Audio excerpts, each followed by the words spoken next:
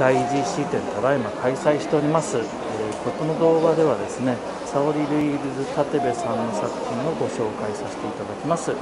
作品タイトルは「贈り物」というタイトルですね。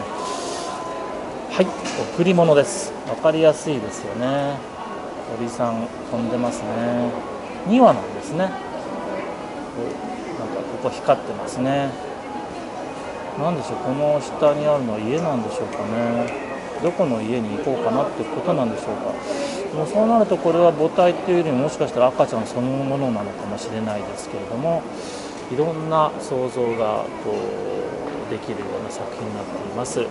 こちら沙織ルイーズ立部さんの「贈り物」という作品でした。作品のねお問い合わせは阪神梅田本店8階のハローカルチャーまでよろしくお願いいたします。